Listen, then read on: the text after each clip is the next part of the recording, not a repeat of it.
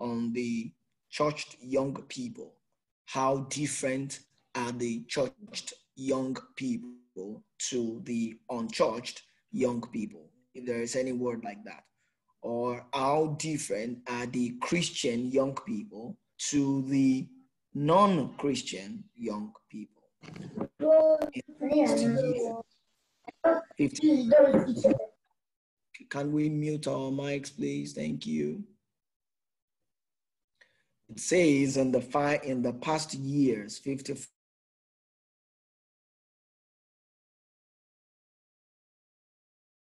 the church will play a part in their lives when they leave home. Only 33% of the church youths can say that now. That statistics used to be 55 and 66% in the past years.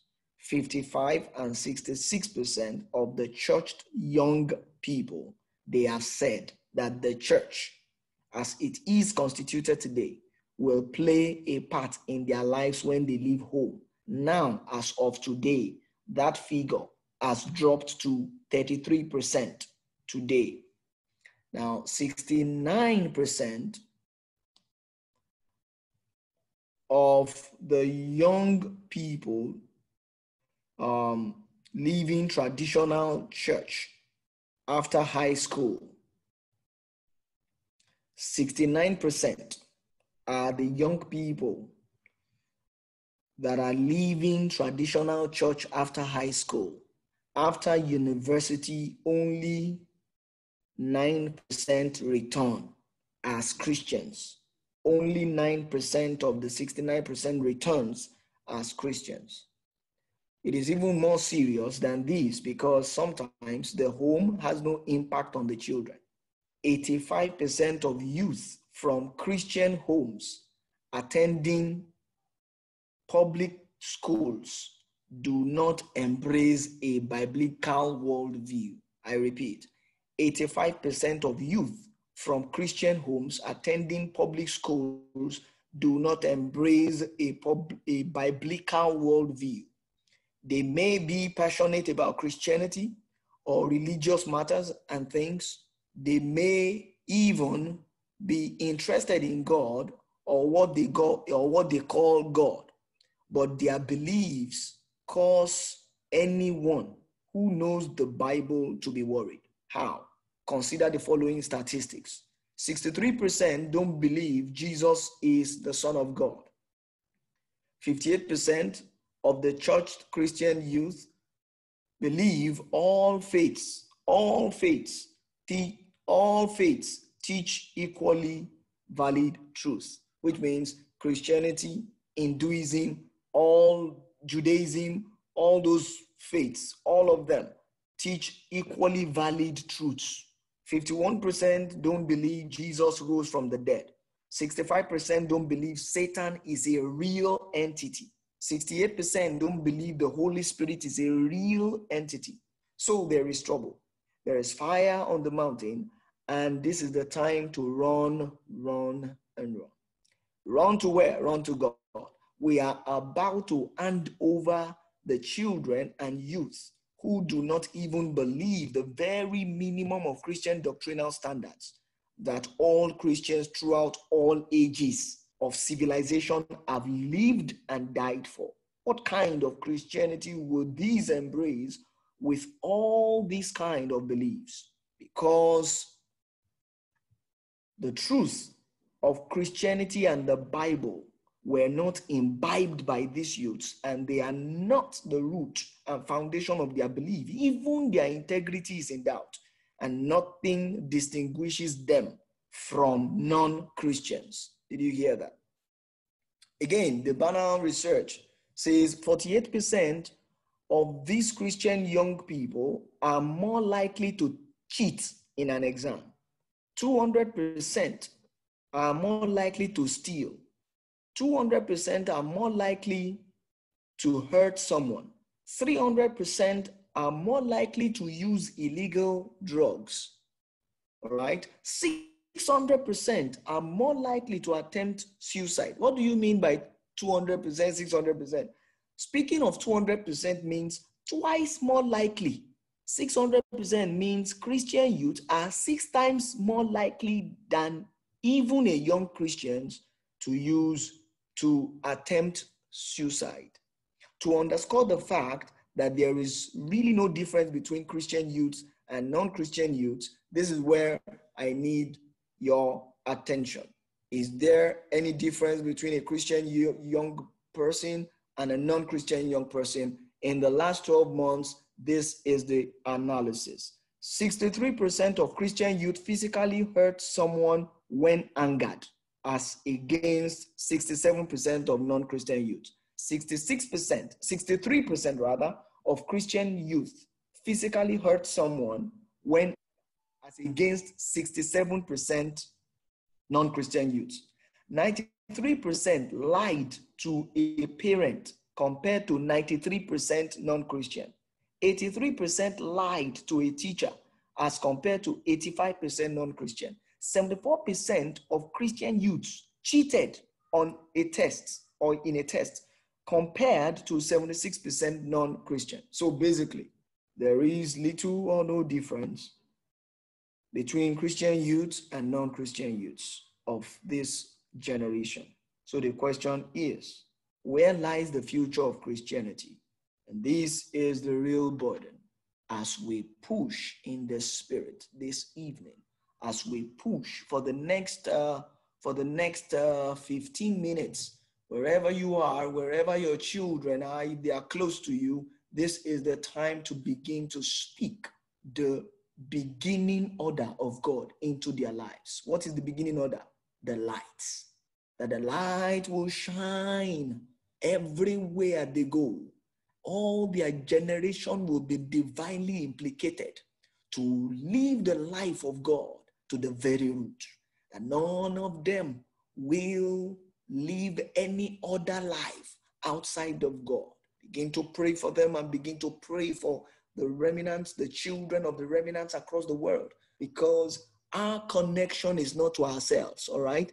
our connection is not to ourselves but to God. Later, you will understand the destiny of Christ in God as a typology of the destiny of children in Christ as well. We are going to go into that, but we are going to pray across the world because all over the world it seems like Christian family is under attack. But I tell you, before Christian family came under attack, Christian um, Christian community first came under attack by compromises. The compromises that parent pastors, the compromises that parent usher, the compromises that parent teacher, the compromises that Christian parents have had before their children. Children can see more. Children can learn more by, by watching you than by you telling them to do something. They've seen where you lied that you were at home and you were not at home. They've seen where you lied that you are at Yaba and you were actually at Oshodi. They've seen all those things and there, there, are contradictions. They could see some of these things. And this was where the standard started dropping. And as we're dropping the standard, what we don't know is that we are attacking the, the covering. There is a common covering. And the common covering is, is declining in quality. The content of our common covering, our common faith, is being attacked First, by the compromises that we have had. So it's very easy for the devil to hit us down. We don't even know who has the original anymore. It's even very difficult now in the same Christian faith. Two people are giving um, two people are giving two conflicting messages about a, a, a singular matter and it has gotten to a point where we don't even know the source of things anymore. We are not talking of fake people here. We are talking of people that have really done a lot to follow Christ, from their cradle. They've really done a lot to believe in God, but the compromises, the self in them is not, is not yet being conquered.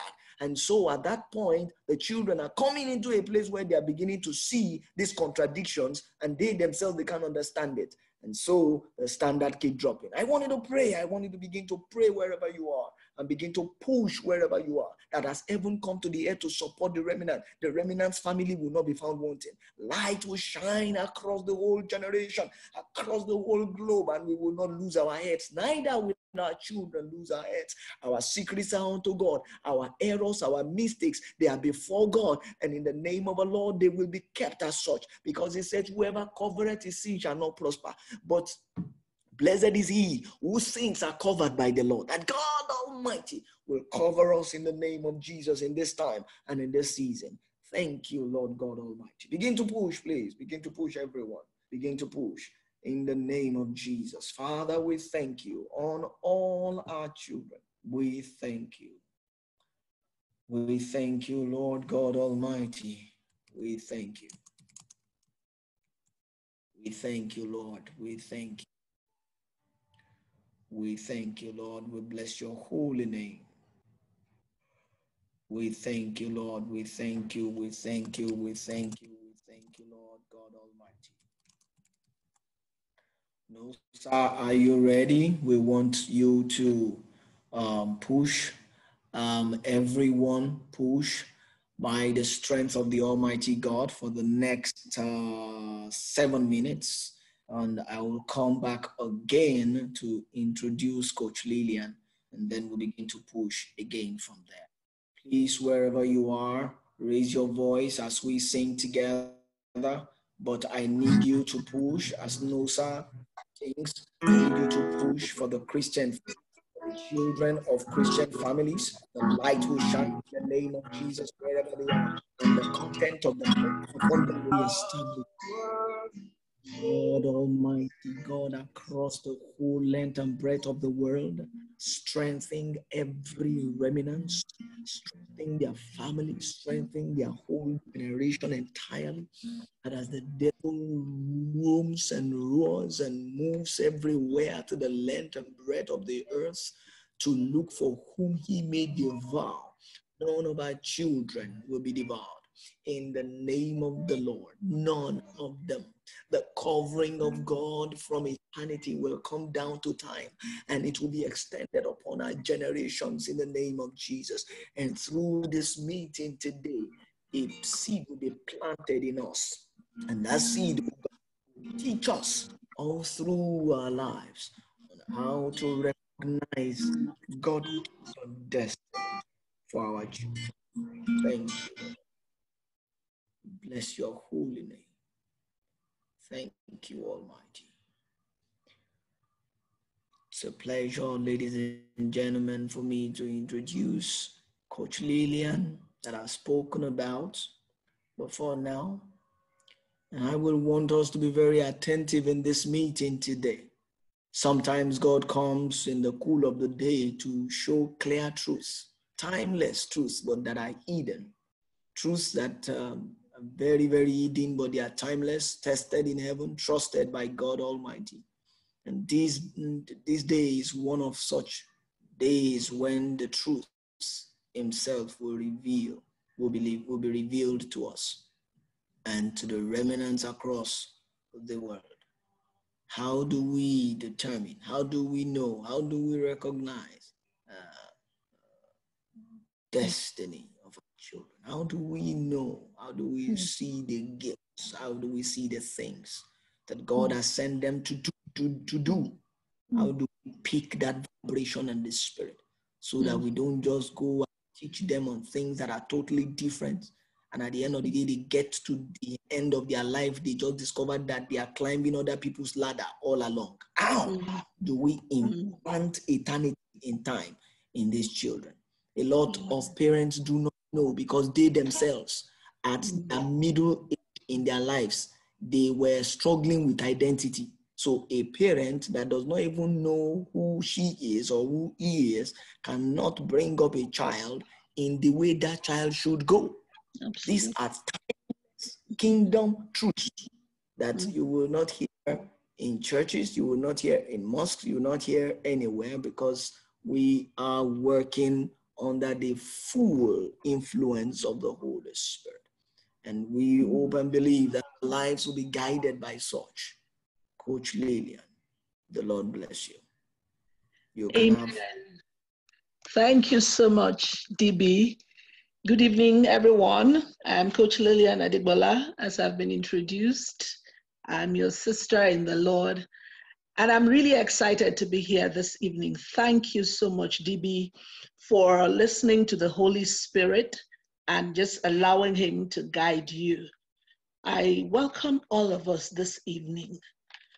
You know, when DB told me about this meeting, I wasn't really sure how the Lord wanted to go. And um, I asked him and I kept listening.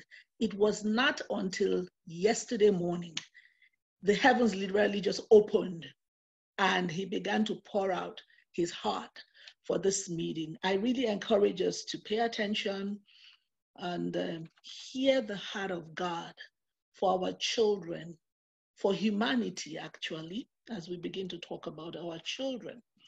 If you have children here, I don't want you to come under condemnation if perhaps you've not really been doing it the way God would have wanted you to. There is no condemnation to the children of God. You can always realign with the way God wants things to be done. So I'm going to kick off, first of all, by laying some foundation so that we are all on the same page. I'm going to take some key words because, you know, we can be saying the same words, but the meaning is totally different. I, remember a time when gay meant uh, to be happy, you know, to be cheery and happy. But today, gay, even though that meaning is still in the dictionary, has a totally different meaning. So I want to look at some of the key words for our conversation tonight. Um, the destiny of Christ in God. Like DB, DB has said, he's going to unpack that a little bit more later in the evening, but I want to pick on destiny because when we're talking about identifying and nurturing God's gift in our children, we're really talking about destiny, you know. And uh, the dictionary will tell you that destiny is a predetermined state, a condition that is foreordained by divine will. But I want us to look at the biblical description of destiny. Destiny is not um, a fatalistic acceptance of some fate, okay? So, I mean, it is what it is anyway, so why bother? God has already decided what's going to happen, so why bother? No. Scripture teaches us that we human beings are created with the ability to make moral choices and that we are responsible for those choices.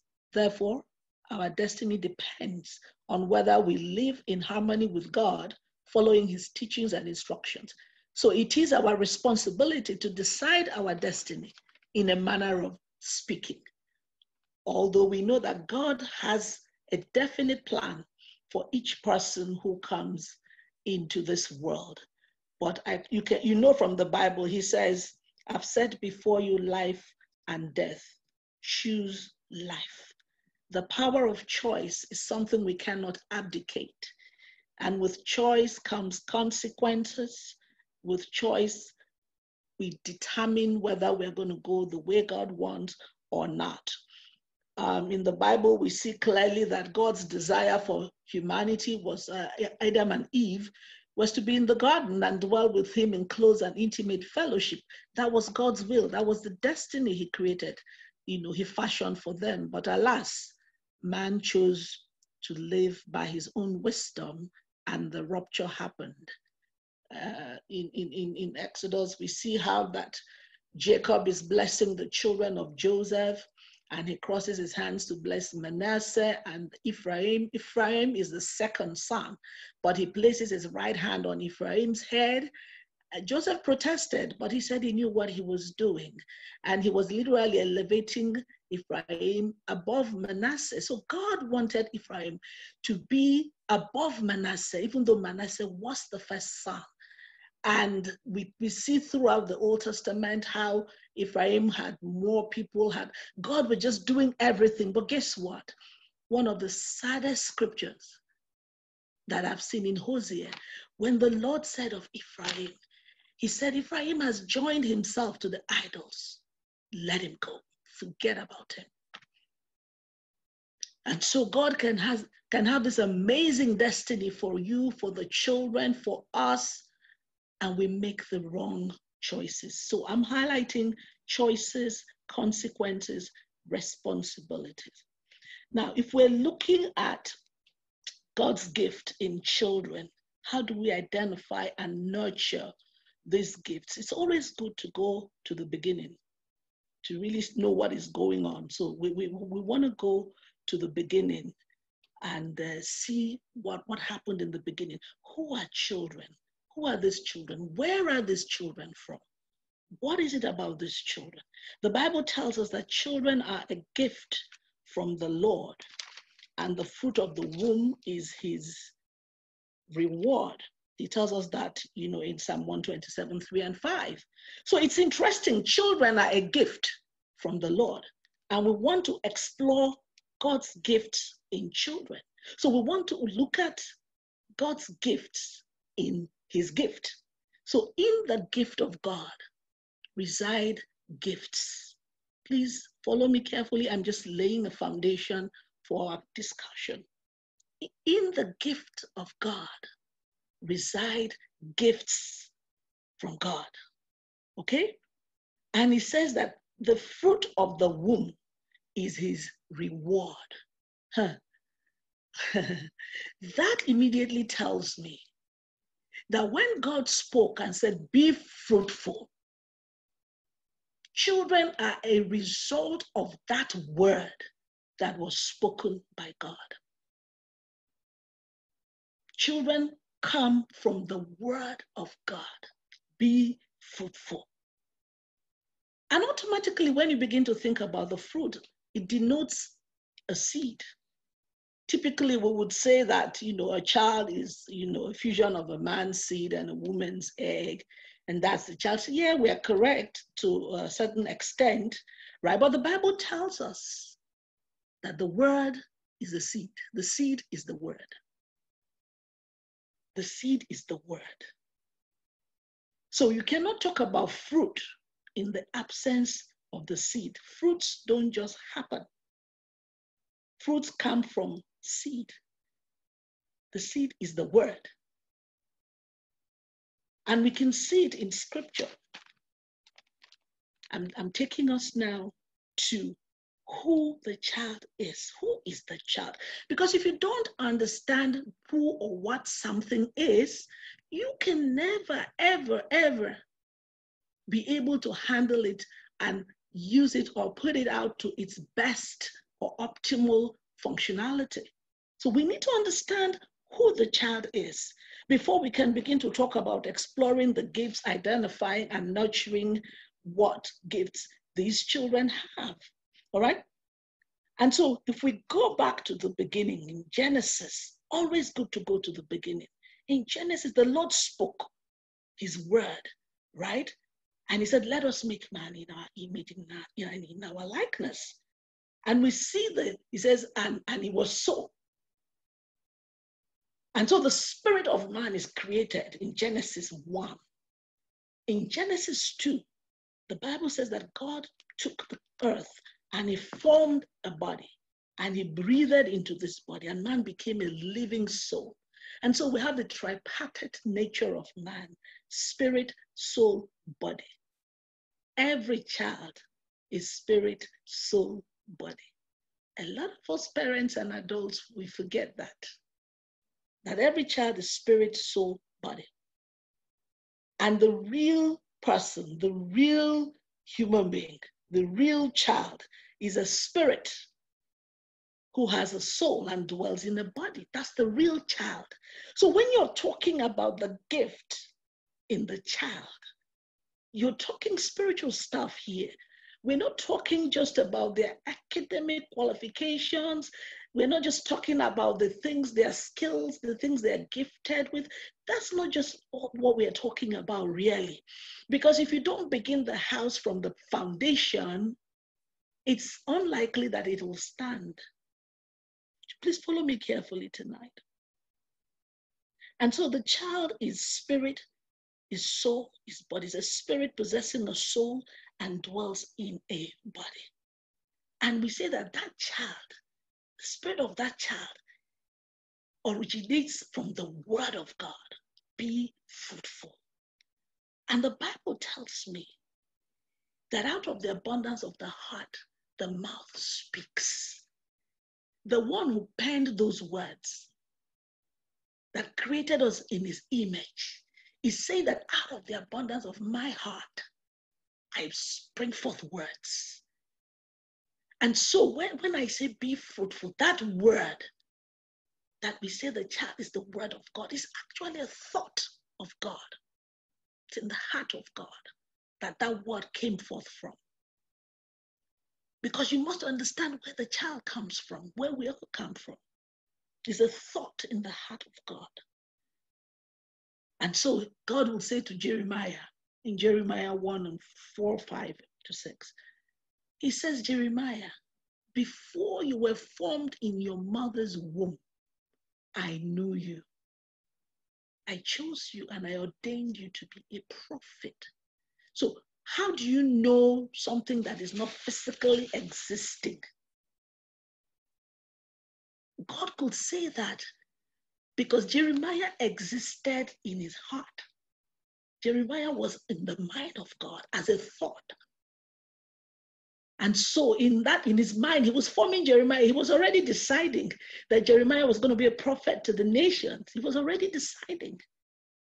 And you know, the Lord Jesus confirms this to us in, in, in Hebrews 10, where, when he says that, Lo, I've come to do your will, as it's written of me in the volume of your books. God has books. And he was confirming, you know, Psalm 40. God has books where He has poured out His heart. He has written stuff about the children, about each and every one of us. And so, before we begin to talk about the gift of the children, I want to throw a question to us. Are we familiar with the one that brought forth these children? Are we familiar with the maker of these children? Because, you know, as DB was talking, you can see that we have a crisis. We have a serious crisis on our hands.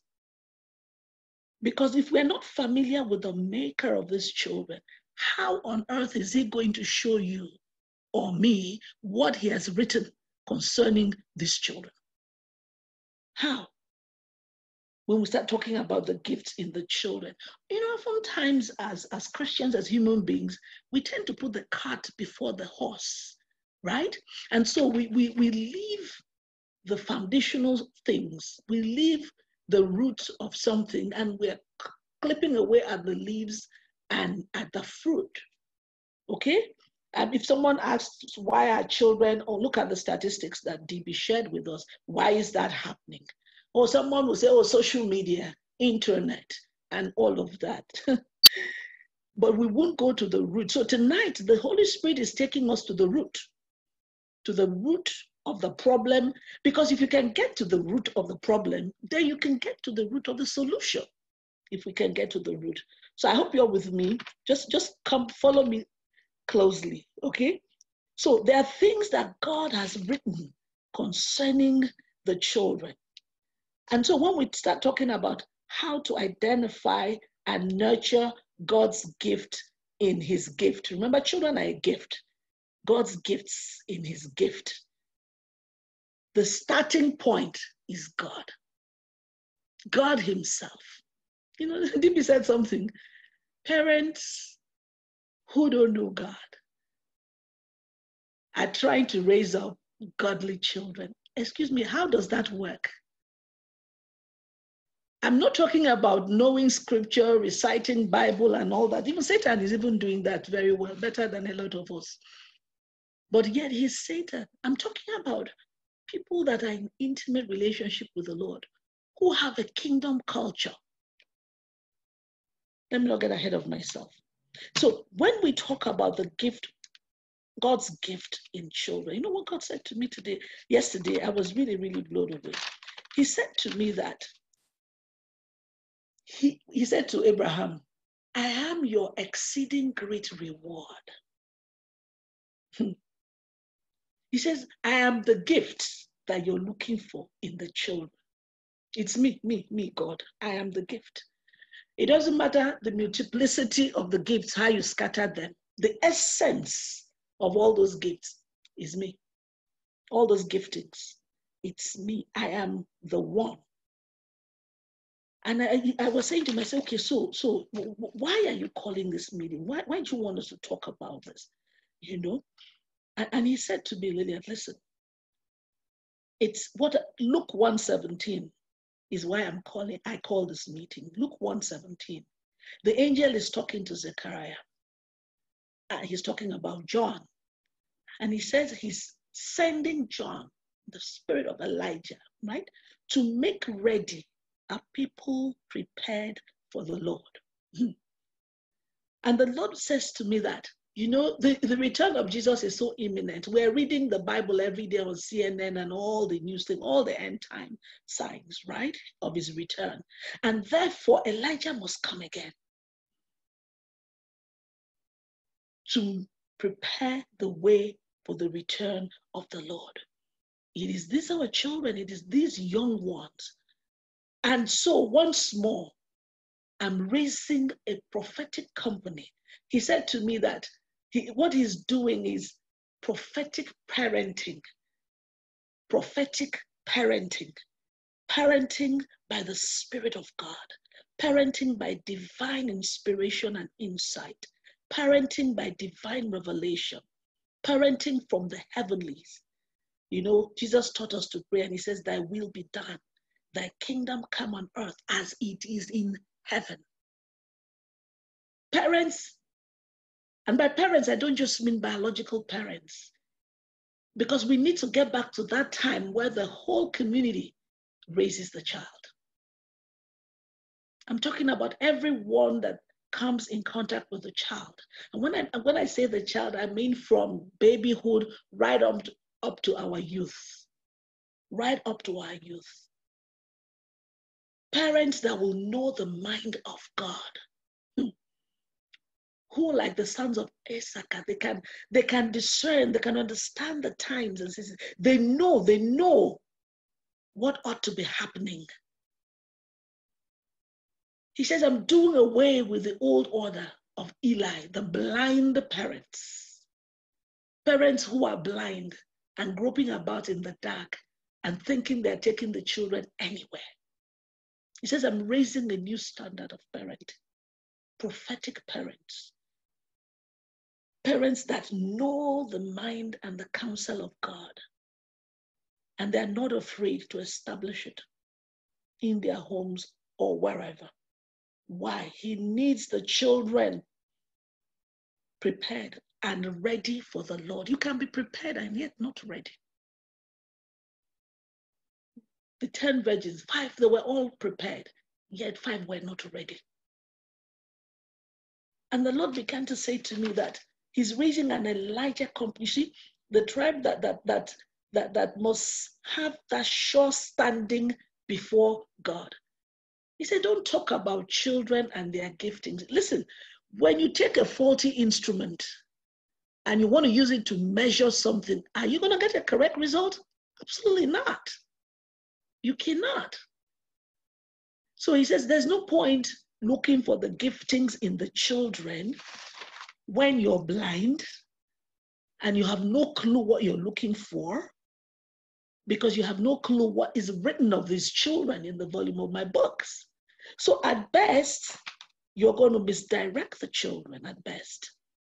Okay, so a, a, lot of us we, we we we say, oh, this child is gifted to do this, this child is anointed to do that, he has this skills. We ask them to study law, we ask them to work here, do this, we place them in all kinds of things. And he's saying, hear this question clearly. What is the source of that information you have about your child? What is the source of that information you have about the, the youth that is in your corner, in your office, in your space that I've brought into your space? Listen, you can actually be saying the right thing, but what is the source? The girl with the, the with, with, the witchcraft spirit, you know, the, the, the that, that was announcing uh, Paul and his uh, his colleagues, she was telling the truth, but what was the source? And so Paul rebuked her sharply. Source is very important, very important. God said to Adam, Who told you you were naked? I did not tell you that. What is the source of the information that we have about our children? Is it our observation? Is it the school reports? I mean, I, I, read about Einstein when they had sent him away from school and had written a report to the mom that he was just too, too, too mentally retarded. There was no need for him to come to school. Einstein. And the mother, and he said, what, what was in the note? The mother said, Oh, they said you're too intelligent, you know, they can't cope with you in school. So I will teach you myself. And look at the great physicist he turned out to be. If she had listened to that report from the pits of hell, are you deciding the giftings of your children by what tradition says? What's in the family? Or, you know, we are all lawyers, so he's going to study law. Or he looks and behaves like this. Babatunde, Yewande. I know, I'm sorry if your name is Yewande or Babatunde. I don't mean to be um, naughty. Where are we getting the source? Where, where are we getting the information? What's our source concerning children? Is it by revelation of the Holy Spirit? Listen, because if it's not by revelation of the Holy Spirit, it's witchcraft. It's another spirit. And God will not bless whatever He is not the source of. So, this meeting, we, we, we, we, we've said that we're talking about the how to identify and nurture God's gifts in children. God said yes. But first of all, what I'm doing is that I'm calling the parents and the adults and people that will meet children and hearing what I'm saying to the prospective parents, I'm calling them first back to myself. I'm calling them first to come, let me anoint their eyes so that they can see. Let me anoint their ears so that they can hear. I'm calling them so that I can remove the scales off their eyes. Because there's no way, God has said, He said to us right now, He is the gift that is in his gift that we call children. So, a journey on identification and nurturing of God's gifts in children is actually a journey into God. That's what it is. It's a journey into God. And he say, Are you ready for that? Because listen, let me tell you something. You see, our young, our young adults, right? I remember once the children said to me, Oh, why is church, why is church uh, worship is always like a funeral? Why can't they have better music in the church? I'm like, well, you guys create better music for the church then. So why is it so boring? So we're living in this, um, this um, uh, I'm sorry to use the word, we, we, we are like a cult in the church where we are self-satisfied with our little Bible studies and uh, all these things that we do, the routines, the familiar, the things we are used to doing with, where it's so ingrained in us that we are not aware that we are losing our children. Let me tell you a story. We had a program for Christian children who come to church every Sunday, whose parents are born again in a whole hall, I won't call the names of the churches, in a whole hall of almost about 100 or 120 kids or so, we asked the children, how many of these were um, double teenagers, you know, 18, 17 to 20, 21. How many of you are really born again? Only one boy put up his hand. And we said to them, but you come to church. They say, yeah, just to please our parents. You know, like DB was saying, so we started asking them, why why do you say just to please your parents? You know, you know, you know, this is because our parents are hypocrites. They are hypocrites. So I don't know who they think they are deceiving. I remember one day in my house, um, the, the, the young kids were around with, I think, my daughter and her friends or something, you know, but they were making quite a bit of noise. And I came out, I'm like, what's going on? Young guys, you know, young 18, 19, 20, university kids, they're like, we're going to scatter church tomorrow, that we're going to scatter the, their church. You know, I think she had had people from different churches. So what's going on? So this is a particular set of kids from a particular church. So I was like, okay, calm down. What's going on? Eh, listen to what this kid said to me. They said, look at all these fake people, fake pastors and all these things sitting on the stage. Eh? They will tell us, keep yourself, be holy, don't sleep around. Yeah, they're the aristos coming to our school to carry babes. We have so disappointed our children and broken their hearts that we've, they've become hardened and calloused and turned away from the Lord. And the Lord is calling us to repentance. He's calling us to repentance. Before we start talking about gifts and things in the children, He's calling us adults back to repentance, to the place where He can have a conversation with us. You know, God is saying a lot of us say, well, God said, God said, He said, I ain't talking to a lot of them that are saying God said, I'm not talking to them. So I don't know who's telling them what they're saying. It's not me. But God is merciful. And He's saying this because really we have a crisis. And the Lord has need for His people. He has need for His people. Because He's saying if we, if we come back, right,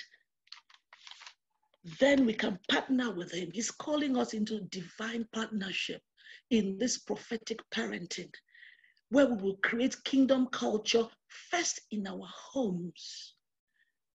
First, you know, you know, I've run school. I mean, several, several years. I've been head of children's church with a couple different churches, several, several years, right? And parents think that the responsibility for raising their children is for other people apart from themselves. Apart from themselves. And you know, as the Lord began to speak to me yesterday, He said, Look, just look through the Bible, Lillian, look through the Bible. God has sent angels to talk to people about children that were coming. Ishmael, Mary, Elizabeth, Samson's mother, you know, Josiah the king was prophesying hundreds of years before he showed up. You know, for some of them, God went into great details to talk about the children. I mean, even our Lord Jesus Christ has so many, over 55 prophecies about him. John the Baptist. I want to encourage everyone when you get home today, I'm going to give you a couple of scriptures and I want you to read them.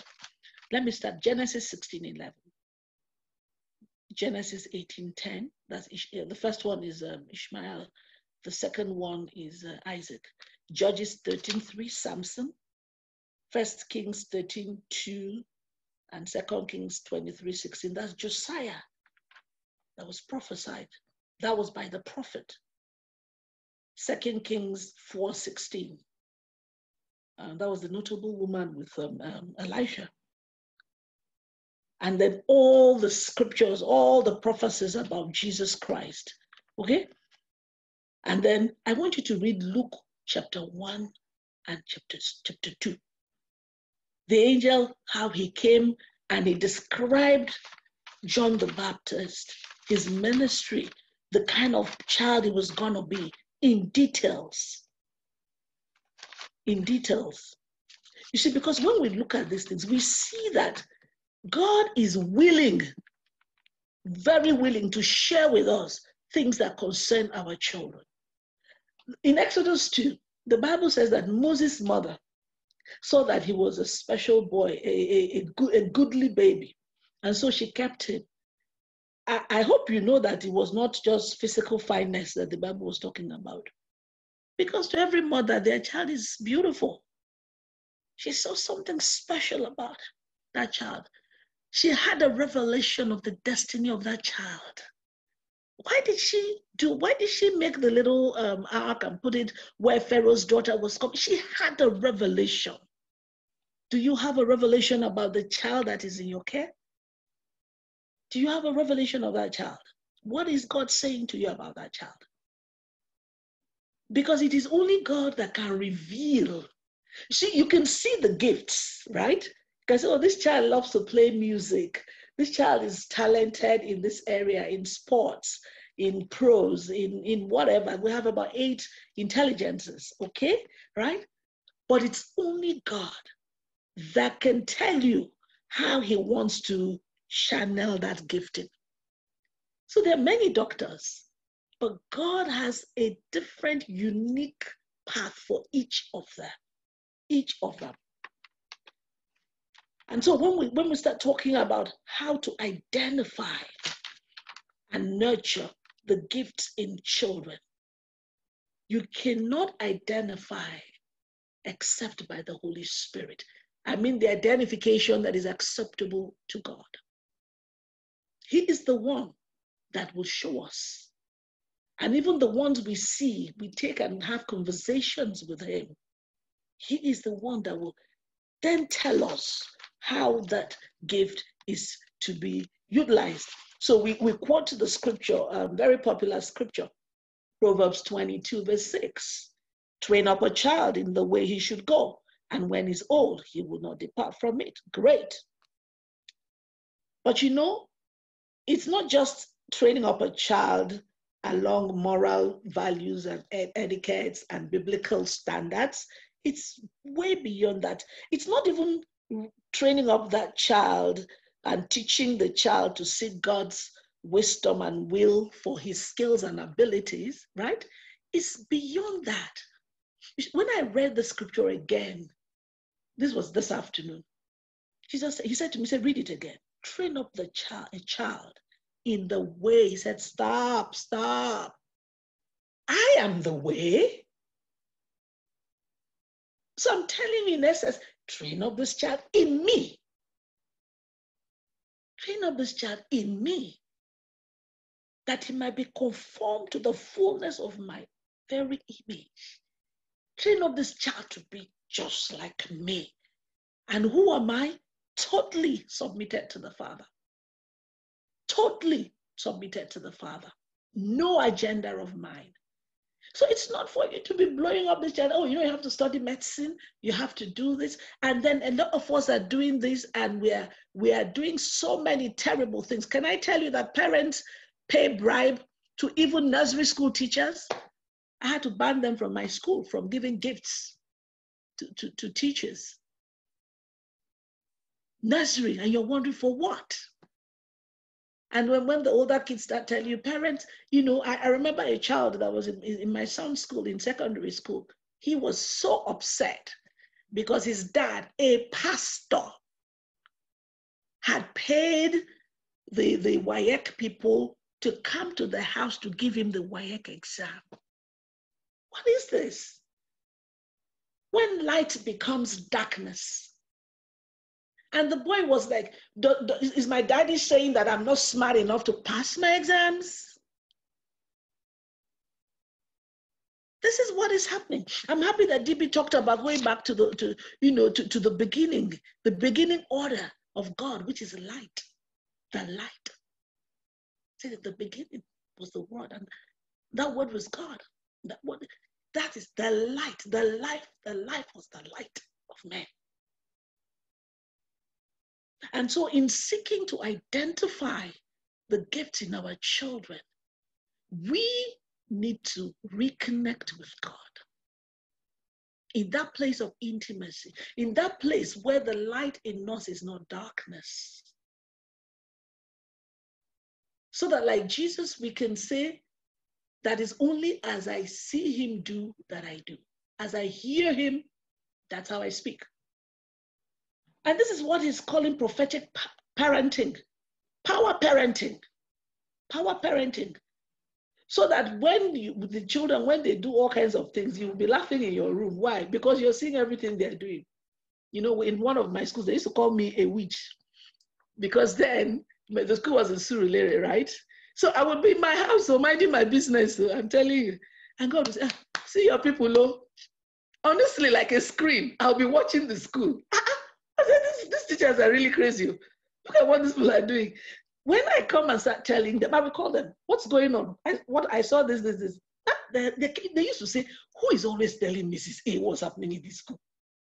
It was no, it was the Holy Spirit that used to tell me and show me stuff happening in the school. And God wants you to be, wants it to be like that with our children. With our children. I remember my son. My son had a bit of issues um, in his uh, the last one in his in the secondary school in his final year, you know. And I remember when he when he came home, I said, "What happened?" You know, when they start talking very fast, like there's potato in their mouth, you know they are lying. You know. So I said, "Calm down, just cool down, cool down." What happened? He, he repeated the story. I said, okay, since you don't want to tell me the truth, let me go to my room. He said, Mommy, don't pray. Please don't pray. Let me just tell you what happened, please. Let me just tell you what happened. Why is he telling me not to pray? Because he has experience that when I don't enter my room to pray, a lot of things will be happening. What are we modeling for our children? They are smoking all kinds of things, crack, uh, ecstasy, all sorts of things. They are looking for, they are looking for power, they are looking for excitement, they are looking for adventure. Eh? I tell my son here with his friends, I say, hey, listen, let me tell you, you can't have a greater adventure than in Christ. Never. You want a high? Ha. By the time the Holy Spirit gives you high, you won't even, even dream high. There's no high that beats God. He's the highest. What are we modeling for our children? We have, we have, we have inoculated them against God by our lukewarmness, our clear out sin. And so you come to Christian homes full of flies if God were to open your eyes to see spiritually. The fire is not burning. The children are not being raised in the way of the Lord as a matter of life. They, they, they never see their parents praying. They never see them doing anything spiritual. It's only when they go to church. So, where is the culture of God in that home? And the children will just replicate who you are. That's not what you're saying. No, no, no, no. Who you are. And so God is challenging us. Yes, I've loaded the children with gifts. They have all kinds of things I've put in them. But the ones that are to guide them are so far away from me. So far away from me. Can you imagine an older child? Of course, if you start earlier, it's easier for you. Like I was sharing with a sister in law of mine. I said, some of the things God taught me, the, the anger of man doesn't work righteousness. I'm telling you, just calm down and let God do it too. Because hmm, if you try to do it yourself, it's really painful and the journey is too long. How can we have functional children when we are dysfunctional people? Naturally, a dysfunctional man and woman will have a dysfunctional marriage, and so the, the home is going to be dysfunctional. But God is saying, listen, I'm here. I'm here. Dysfunctionality is the trademark of the enemy. I'm here. I'm your father. Can you come back home? The prodigal said, even, even the slaves in my father's house, they're living better than this. Let me head on home. Some of us need to head on home today. We need to head on home so that the Lord can clean us up, sort us out, redress us, reclothe us. There is no condemnation. Why? Because these children, hmm, did you hear what God said? That it is better for you, you, not you, someone, that they hung a millstone around their neck and drowned them, than they constitute a stumbling block for the children, the judgment of stumbling blocks. Please, that must never be our portion in the name of Jesus Christ. And this is not just about the children you give birth to, physically or biological children, or those who don't have children yet, who are not yet married. This is about every child. And you can start in the place of intercession. You can start in the place of intercession. What we did this evening, interceding, knowing the Father's heart, knowing that He's looking for what a righteous seed. How can you nurture? Nurturing means to build, you know. To nurture means to build, okay? And the Bible says, except the Lord builds, the builders are building in vain. So there's no way, you can't escape God. You want to identify, you need Him. You want to build, you need Him. You want to nurture. So He's calling us back to, to, to make ready a people that will be prepared for the Lord. An Elijah company, a prophetic people raising a prophetic people. Why? Jesus' return is imminent. Is imminent. So even if you don't have children, you can pray to know what God, what, you know, what's on God's heart. You can pray. You can, and uh, beyond praying, you can listen. Over the past four or five weeks, we've been doing some series on the art of listening activating the, the ears of our heart. You can listen, and God will begin to lay children on your heart, things about children. You can watch. You know, the Bible says that to, to watch, to be sober. You know, we can begin to build up ourselves and take responsibility where we are at. Listen, when your relationship with God deepens and you're a friend of God, He begins to show you stuff. I'm telling you. He's just telling you, He just starts telling you stuff, even about things that don't concern you, though everything concerns you as a child of God. So it's not so much identifying and nurturing the gift, it's more about returning to God, our first love. He, the Bible says Jesus chose the disciples first to be with him, then that he might send them.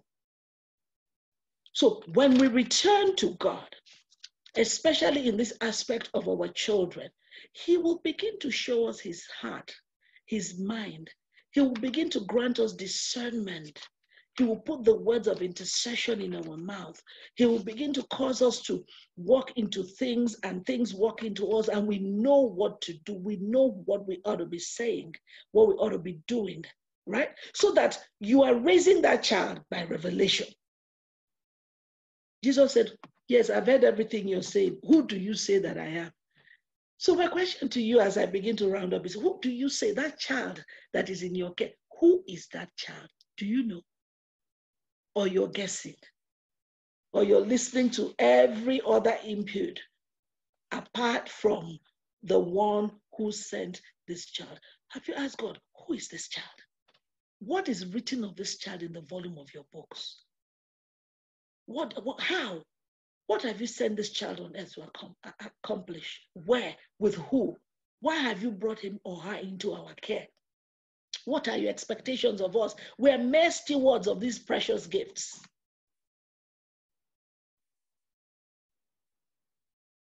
And you know, God said to Moses, See that you build according to pattern. To nurture the children, it has to be according to pattern. What is the pattern for the child that is in your space? I close with a scripture. And Jesus said that, Blessed are your eyes for they see. It's the Father's desire that our eyes see and your ears for they hear. They don't just see, but they understand what they see. They don't just hear, but they understand, they perceive and understand. And my, my, my prayer for us is that we, we say yes to God. Look at Jacob. Jacob spoke about the destiny of the 12 children. Spot on. Spot on. Can we say that about ourselves? But God would love us to say that. And my prayer tonight is that the Lord, as He draws our heart, as we're hearing these words, the Lord is drawing us back to Himself. So that from there, He'll anoint our eyes.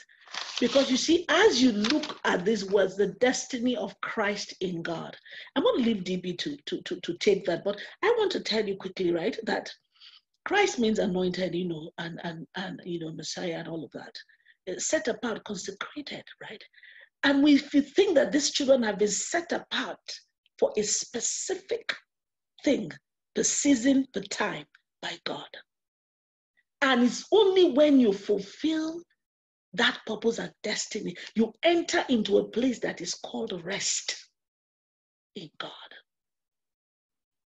If we fail to heed the Lord, we will reap a harvest of disaster like we see happening in the world today. I know about two, three people that their sons have hacked to death. They are Christians. Hacked to death. I know so many terrible things happening. And we're saying, where did this happen? They didn't drop from the skies. You see, if you raise these children without the Holy Spirit, the power of God, the restraining power of God, your good manners, etiquette, crossing leg, using uh, proper um, table manners, horse riding, the kind of investment we put in educating the earthly person that is not living this place. If we put 10% of it in spiritual education, the world will transform. May the Lord have mercy on us. May the Lord help us because He really desires to help us, that we might raise uh, people prepared and ready for the Lord, that we might say yes to His call to prophetic parenting, whether you're a biological parent or not. May the Lord help us in the name of the Lord Jesus Christ. Amen. DB, I'd like to hand over to you now. With that, I would like to say thank you. Please confirm to the entire community listening to us that I did not have any discussion with you um, this week. I confirm publicly. I haven't spoken to you in a bit, have I? It's been a while. so I am very happy to also confirm to everyone listening that there is no meeting like a spirit meeting. A spirit meeting connects two people who have not had any discussion about the content of a meeting and brings the word right out of their mouth. It's only God that can do that. I know that at some point, Tolu was confirming to me that she chatted with, with Coach Lillian and all that. But there was just one part that I know too well that I did not put in the content that I shared with you. I kept it away, and that was training up a child in the way to link up that the way to I am the way, the truth, and the life. I did not put that in that discussion with you. Please confirm to you. I did not put that anywhere. And by the time the Spirit of God will be taking us into the connection of everything that Coach Lillian has said, you will understand that we are missing a lot if we don't utilize the full stature of our spirit dimension to meet with ourselves we are missing out a lot. We are missing out. A meeting or a church does not have to read from physical script. There are spirit scripts. Come on now. There are spirit script that belongs to God alone. He himself is the script. By the time he reveals himself to the creature, the scripture is fulfilled. You begin to come together to meet people that you have never seen before. Words begin to come out of your mouth that God has shared to one and has shared to the other. God bless you, Coach Lee. God will keep you for us as a testament and as a testimony to this generation that there are still prophetic parenting, that there are still power parenting, remember very well one, once when I did something wrong, and my mother came to my room and said, I dreamt of seeing you smoking. Well, I've never smoked in my life, but I knew I'd done something wrong as of that time. Mm. So I told my mother, Mom, I fornicated. I did it. And she said, No wonder. I saw you smoking. And I was like, when did my preacher boy start smoking? Come on now. Come on now. there are power parenting, I tell you. The eyes of the Lord that runs to and through the earth will connect with every covering that the parent has, and he or she will know what the child is doing and where the child is at any point in time. So if there is a destiny of Christ in God, then there is a pattern of Christ in God. Then there is a pattern that God has laid from the beginning, before the foundation of the world, that we should follow. Now, this is where the truth of God is totally different from the old truths that you can ever have Judaism, Buddhism, uh, uh, Irish Krishna, whatever truth you have, Islamic, this is the truth that God has a son, and his name is Jesus Christ. Mm. And nobody on earth can come to the Father except through his son, Jesus Christ. Mm. If that son is his son, then he has patterned a dimension of the destiny of that son. How? Of everything that God saw in the beginning, in the midst of chaos, in the midst of darkness, in the midst of voidness, the only thing that God went for was the destiny of his son when he proclaimed, Let there be light. Hmm. and delight, delight was the Son.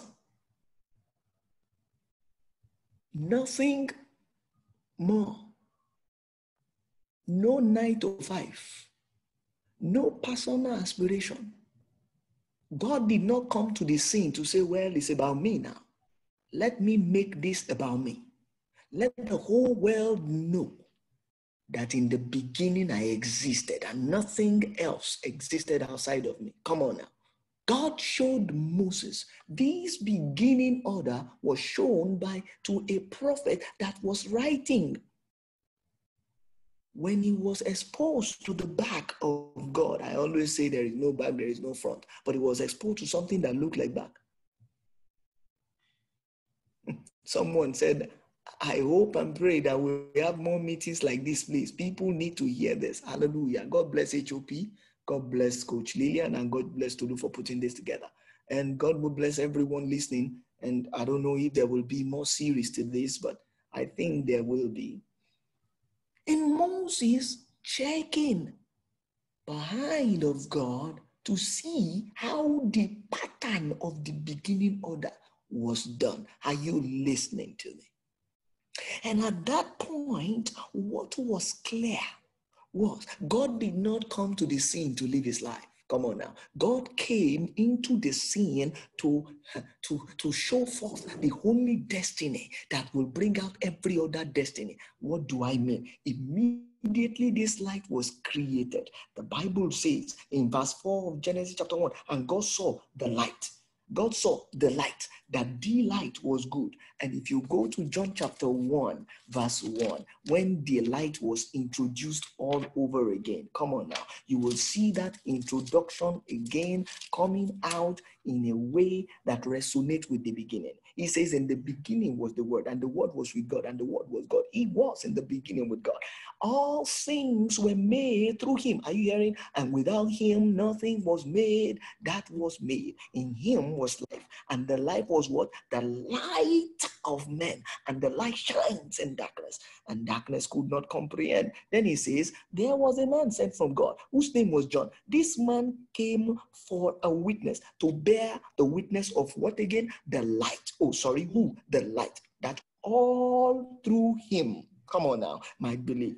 He was not that light, but was sent to bear witness to that light. That was the true light. Are you hearing again? That means there is a fake light. Mm. Come on now, there is a fake light. And that's what Coach Lillian was talking about. If the light inside of you is full of darkness, great shall be your fall. If everything you put up and every energy you put up as a parent is nine to five, God bless your reward. Come on now. God bless you because the reward of God in bringing forth the destiny of Christ as the light through whom all things will be created, the reward of God, not living his own selfish life, was rest. That is why he says, discipline your child that he will give you rest because the reward of you allowing the destiny of God to be formed with your children is rest because God had that reward. God had that reward in eternity. He rested. Come on now. He rested. The destiny that charted the course for the whole humanity was delight and there was nothing that was from outside of him. Everything else was formed inside of this light. That was the reward of God bringing this light to bear. It was through this light that everything was created. Oh, come on now. The greater light and the lesser light got illumination from this light. I wish Illuminati can hear this that there is no light outside the true light. Come on, come on, come on. There is no light outside the true light. So, for a parent that want to train a child, you must enter into the light first to see the light that is given to you in the children. You cannot locate the destiny of any child outside of the light. You yourself must enter into that light. That's why Lillian said the journey of children is the journey of God. The journey of God will bring you into the journey of how you will train up your child. Come on, come on, come on, come on. Hallelujah.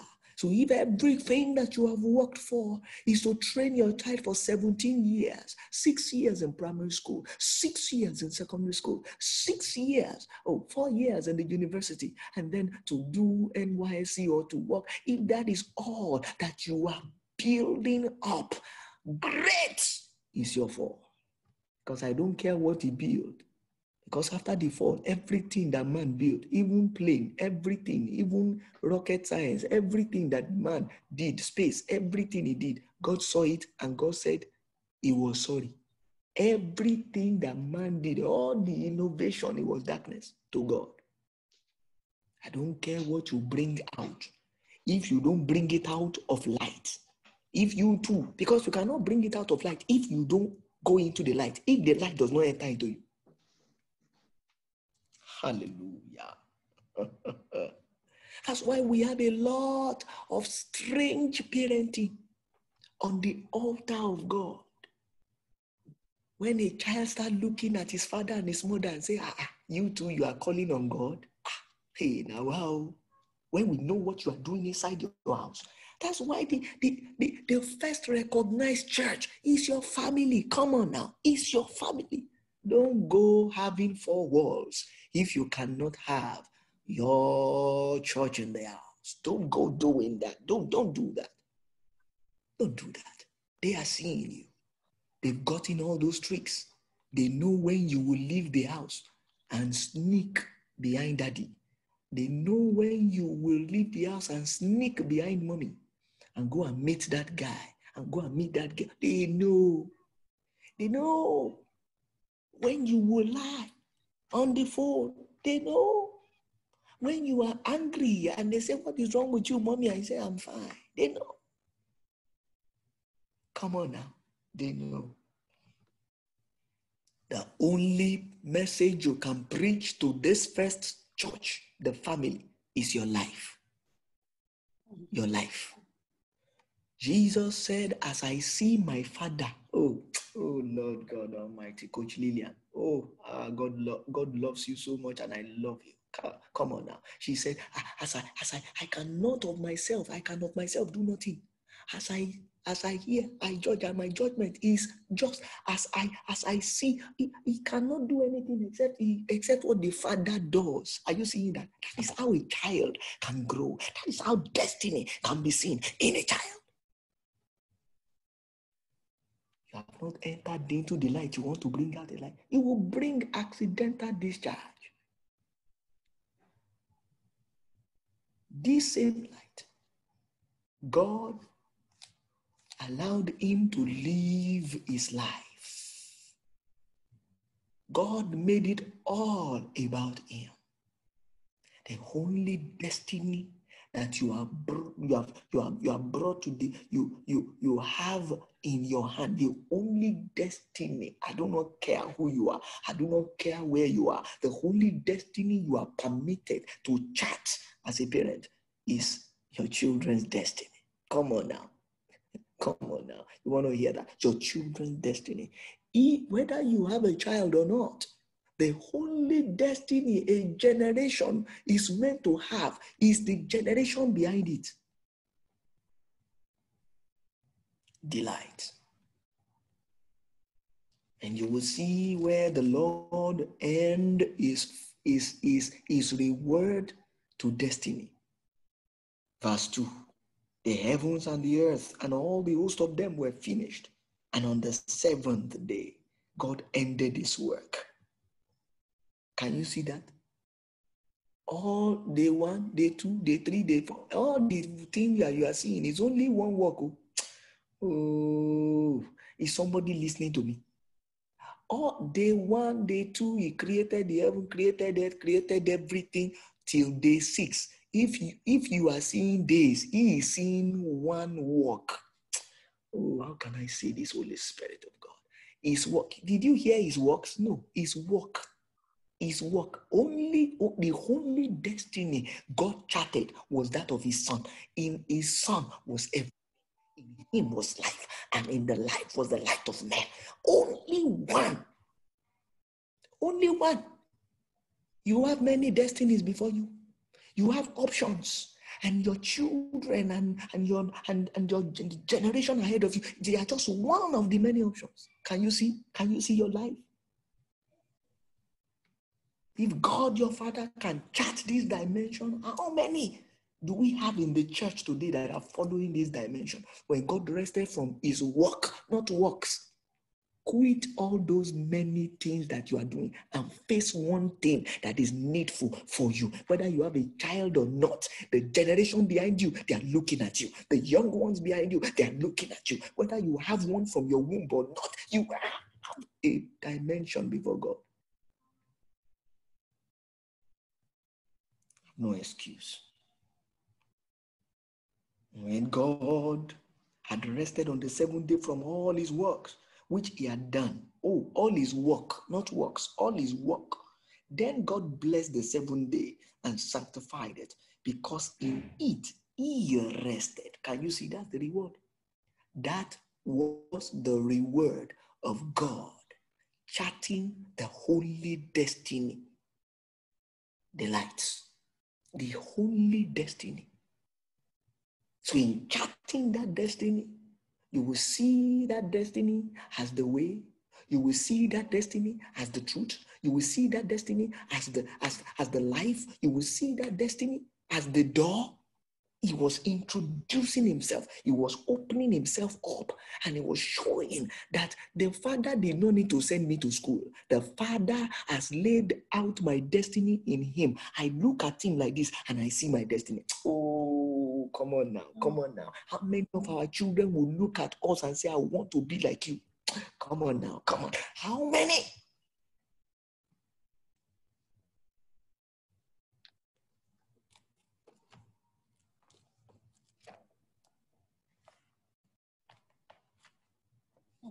God took everything inside of him to train his son. Come on, in the way he should go, the way, the way. He is the way. So when you locate yourself in the way, you will see in the eternal sacred order. Come on, what is that message to you? That message I want everybody to go and listen to it. I preached about the destiny of, of God, where I talked about the three dimensions. It was, it was a meeting about the work uh, the, the, the professionals. I've forgotten the topic of that message, but I will I will I will implore everyone to connect to that message when you begin to see the, the eternal sacred order of God, the destiny of Christ in God, the destiny of God, the dimension of God in the Trinity. Oh Lord God Almighty. See, inside of him is the way. Hmm? So when you locate the way, come on, leave your child alone, leave your child alone. And thank you, extending the frontiers of Zion in Babylon, part one, and to go and look for that message. Tolu will send it to you. See, leave your child alone, leave everything that is inside of you. Locate the way. Inside of the way, he will tell you the, what he has given to you or who he has given to you. Inside the way, you will now see he should go. Oh. Train up your child in the way he should go. If you want to break that English, you will see the revelation in what God is saying in the way. He say, I am the way. Then he should go, which means he should go in the way. I am the way. He should go in the way. I am the way. so that when he is old, he will not depart from it. See, the sons of the kingdom can never be lost. And I will tell you where we are getting this wrong. If we do not get this right, I will show you where all this is going.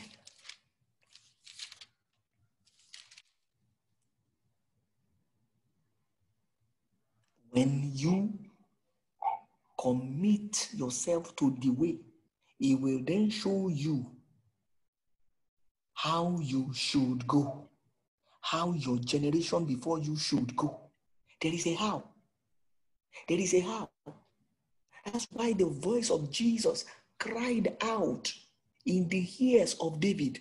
When David says, Sacrifices and offering, thou wouldest not desire. Lo, I say, a body you have created for me, and I am now I've come in the volume of the pages of the book. It is written of me, O Lord, to do your will. In the volume of the book, David was also saying, Oh, in, in when when when when I had not even been formed, when all my life had been written in the book, when I had not even been formed at all. That was um, that was Psalm chapter 139, if I'm if I'm very correct.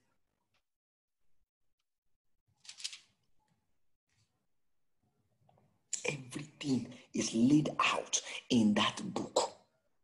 Where is that book? Is inside the way. That book is inside the way. Inside that book, you will see the way you should go. You will see the way you should go. I'm sure when you came for this meeting, you thought we'll be saying, well, if you're if, if you are playing music and your child likes music, that means you want to be a musician. You are joking. Eh, I'm sure you'll be thinking, we will say, if, if your son likes to draw, that means he's an artist. Can you just imagine how we have reduced eternity in this time? Can you imagine how ridiculous we have turned gift into destiny? Oh, what a generation! What a generation! The only destiny is Christ in you, the hope of glory. It is in that way that you would even see the manual to correct your son. Oh, come on now, come on now, come on now. Because Christ was the light, and in the light was life. Because out of that life was the lamp, and out of that lamp was the lion. Inside the light was the life, and the life was the lamb, because the lamb had to be killed so that the so that man and humanity can have life. In him was life. Oh, that was why the, the tonic that was used for Adam and Eve had to come from a dead lamb. It was from the light that was created in the beginning that life came and life was given to humanity in the garden, demonstrated before the foundation of the world, demonstrated so that it will die and the tonic will be used and the lamb will be slain. That same lamb, Abraham saw it and Jesus said, Your father, Abraham, seek to see my day. He saw it and was glad. That same lamb now became a lion. Come on and became a lion and roar.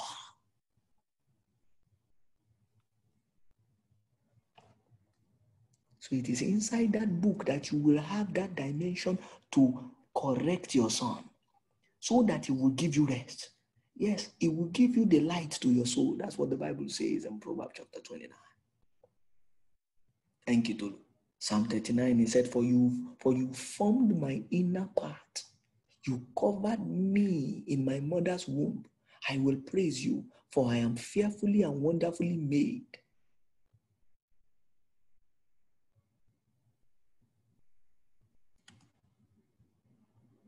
Marvelous things are your works. Marvelous are your works. And that my soul knows very well. My frame was not hidden from you when I was made in secret and skillfully wrought in the lowest part of the earth. Your eyes saw my substance being yet unformed and in your book. Can you see that? Not in your books, in your book. Not in science, not in chemistry, not in biology. Am I saying those ones are not good? No, they are good. They are good in those ones. But, but like Lillian said, if you are giving 17 years of their life to education, why not give so much more eternal value to them to go with them throughout their life? The only place you can get that is from the light. You cannot arrogate parenting. You cannot. And in your book, they all were written. The days fashioned for me, when as yet there were none of them. How precious are your thoughts to me, O God. How great is the sum of them. I should count them. If I should count them, they will be more in number than the sun. When I awake, I am still with you. Can you hear that, everybody?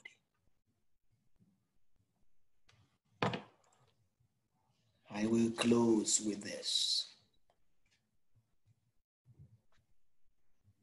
Because there is a compromise and as there has been a compromise in our value, because we have not strived, we have not really strived to enter we are not striving to enter into the light. We are not striving to enter into the way. We are not making our calling and our election sure just yet. Because of that, there is a declining standard. And you see, God cannot reduce his standard for two reasons. Number one, the saints that have gone before us, they saw that this standard was used for them they are watching God as well. God cannot explain why He will reduce that same standard that He did not reduce then for this generation. That's number one. Number two, the devil also is watching. He can see clearly. He could see that God kept to his standard. And God knows that the devil will always look at him as the righteous judge as a just one. These are the two reasons why God cannot lower his standard.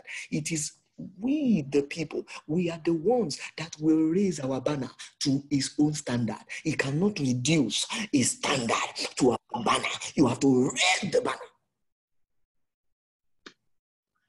But because we have reduced the banner of righteousness by little compromises here and little compromises there, because of that, our covering is getting weaker. And our common covering, our, our, our, our communal covering is getting empty. I hear someone say, "Oh, extend your covering to your parents and eh, to your children." What if your your covering is empty? What if the covering that you are extending to your children, what if there is no light in it? Full of compromise, full of lies. What if the light in that covering is darkness? What do you think will come out of it? The only way that our covering in the spirit can be strong and the devil himself can be afraid of it is we hold up to God and we say to ourselves, it is fight to finish. I either get this way or I get this way. There is no other way for me. I cannot compromise anymore. Even if I compromise, I will come to Him and I must live the life of righteousness or nothing else. Once we come to this dimension, our covering in the spirit will shine, and the devil himself will know for once that we are ready to hold the original, not counterfeit. This is why we have two conflicting messages on one matter. One matter. Settle it once and for all. It's either God or nothing. You see, there is nothing, there is nothing. It's either my election is sure, it's either my calling is sure in him or nothing. It's either I find and see righteousness and I enter into the kingdom or nothing. Once you settle it, you will start radiating the true life of the way. And you know what? Your children will start catching the bug. Come on now. They will start catching the bug. They will start seeing that, ah, mama's got something. Mama's got something. I don't know what it is, but this is original. Come on. They will begin to see that there is no deceit around you. They will begin to see that there is no there is no darkness around you at all because God is light and in him there is no darkness at all. And you know what? That light will enter them and no matter where they go, no matter Hey, there would always be a pathway home. There will always be a pathway home.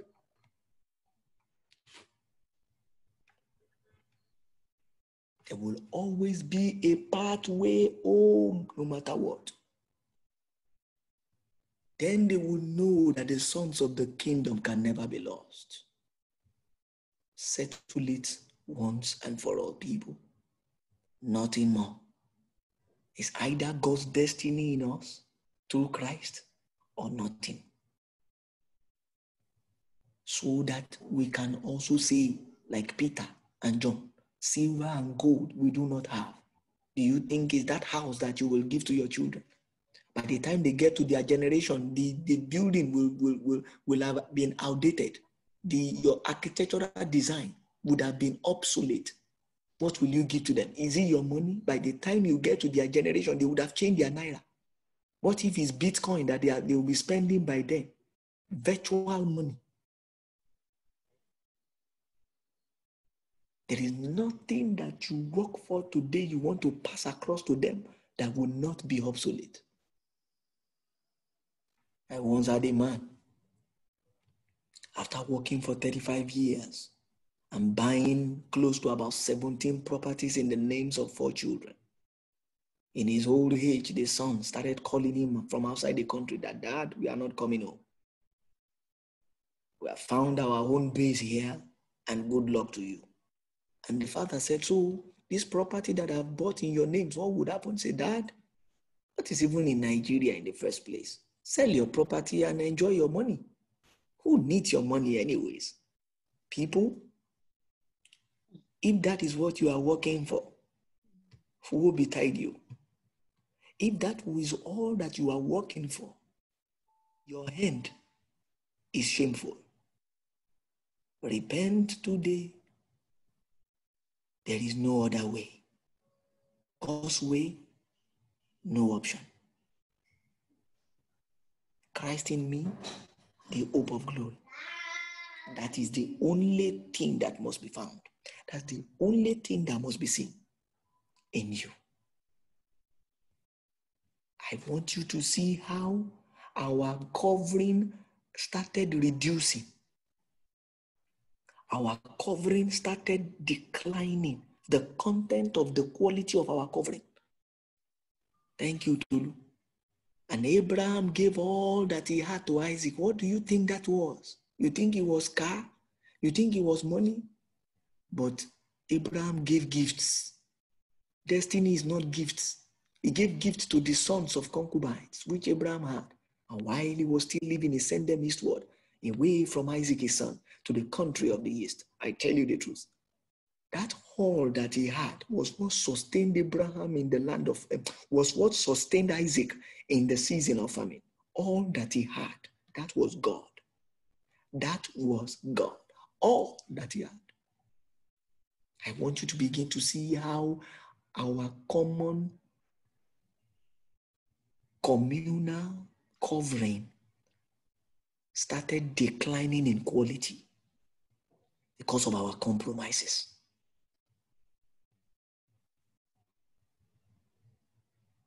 And so, right before our eyes, even with all our prayers, they could still kill Tolu Arotile, the first female Air Force combatant in Nigeria.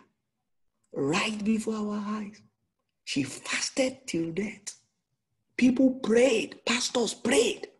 And my question was even together, what happened? The content of our covering is getting weak because of compromises. This generation can no more defend the faulty foundation. You cannot continue to defend the faulty foundation.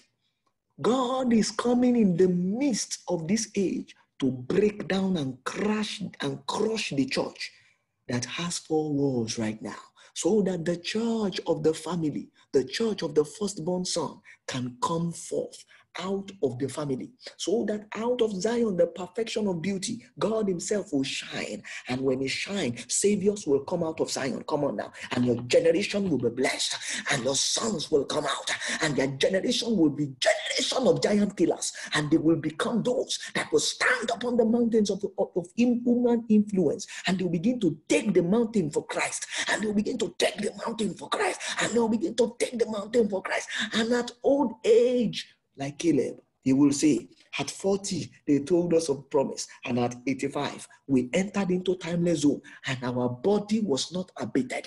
Come on now, and we stand to the point where we took the glory to God, where God took glory through us, where we gave God the glory through our life. Come on now, where by our own life, men begin began to see our good work. Mm. Jesus said, Let your light so shine before men and they will see your good work and glorify your Father in heaven. If He is your Father, you can't build any other standard apart from the one He has built in the beginning. If truly is your Father, you have no other destiny other than Him. May our children be blessed. May God Almighty keep them wherever they are. May God find us in His light. May God find us in His way. May God find us in His life. May God find us in His truth. May God find us in His lamb. May God find us in His lion, so that we also will become the tribe of the lion of Judah. And the lion of the tribe will be, will be fully manifested inside the tribe himself. And the tribe and the remnant will arise in the days, and the prophetic power will make them chart the course for power parenting. I tell you today in the name of Jesus, blessed are your ears for the hear today. Blessed are your eyes for the see today. The dimension of God's pattern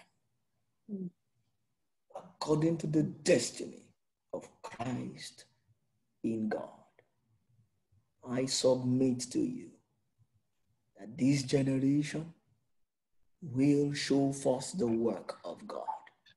And no matter the darkness that is on earth, no matter the bad publicity that, that Christian living had brought, the sons of the kingdom will never be lost. Wherever they are, they will come forth. Why? Because in the beginning, when God created the heaven and the earth, there was darkness, there was voidness, but the beginning power brought back that dimension, brought back the order, brought back mm. everything I tell you, no matter what is lost in your children, no matter what is lost in your family, haven't done all to stand. As you begin to stand, everything that is lost in them will begin to be found.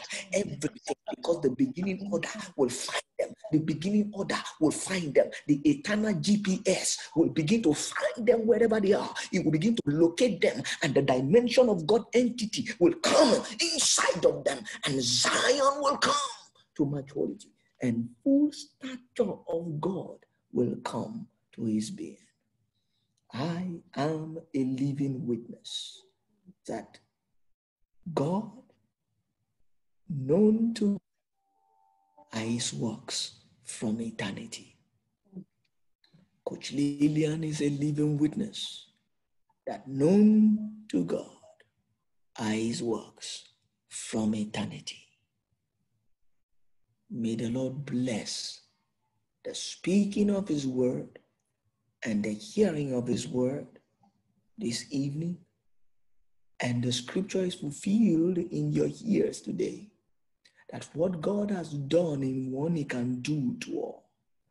That the, the, the destiny of Christ in God can be shown in you and in your children. As God has used Coach Lillian to take us through this evening and as God has spoken Himself to tie the knot together so that we can see what is making us to fall below standard. That the banner of God must be raised in us to meet the standard of God, having the seal that the Lord knows who He is, and let everyone that name the name of the Lord depart from iniquity. righteousness in God or nothing. This goes beyond religion. This goes beyond intention. This goes beyond action. This is destiny for us. God bless you for listening. God bless you, Coach Lillian. God bless you so much. God endow you with strength. God gives you order. God keep you for this generation so that we will begin to see older women, older men that are charted in God, that God God is their own cause. God is the one that, that trained them. We will begin to see them that they did not go to any Bible school, but they charted the pattern of God in their simple life. God bless you because you will remain one of the matriarch of order, one of the matriarch of God, divine blessing in this generation. And in time to come, generation of children that are sent by God to you, they will, they will, they will, they will, they will circle around your table. They will be fulfilled in their lifetime.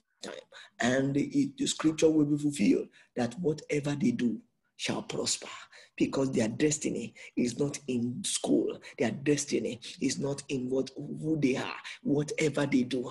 Why? Because they will believe in the law of the Lord, and in His law they will meditate day and night, and they shall be like a tree planted by the rivers of water, which brings forth its fruit in a season, and its leaves shall not wither. And come on, say after me, whatsoever he does shall prosper. God bless you, Coach Lillian. God bless you, H.O. And it's a wrap. Thank you.